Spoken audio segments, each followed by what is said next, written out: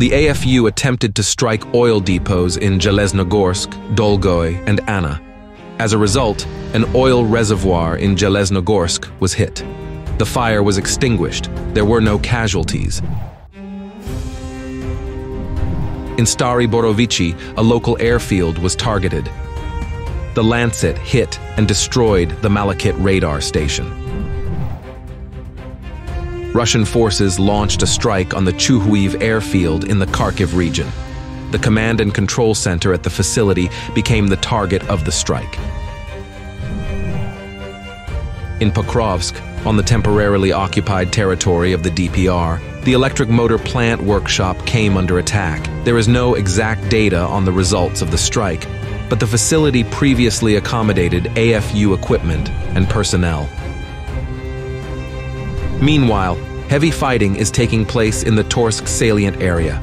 Russian troops are conducting an offensive on the village of Terny. According to the latest reports, the Russian armed forces have approached the outskirts, but have not yet managed to enter the village. The enemy has repulsed the attack. Meanwhile, west of Bakhmut, Russian troops are advancing in several areas.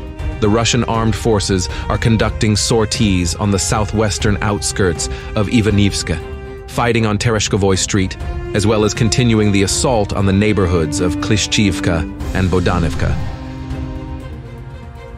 West of Avdivka, the AFU are counterattacking at the Berdichi, Orlivka, Tonenka line. Seven brigades have been redeployed to the area. The main AFU efforts are concentrated on the western outskirts of Berdichi.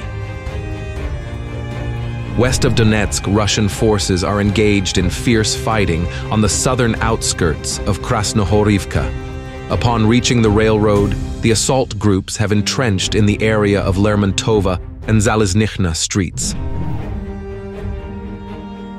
Southwest of Donetsk, Russian forces are advancing in the central part of Heorhivka.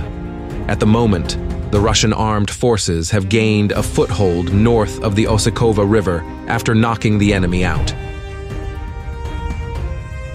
In the Vuhledar direction, Russian units managed to knock the AFU out of several strongholds west of Pobjeda. Advancing in this area makes it possible to increase the onslaught on Heorhivka from the south, as well as to conduct an offensive on Kostiantynivka. The enemy intensified the strikes along the front line using aviation, artillery, and mortars.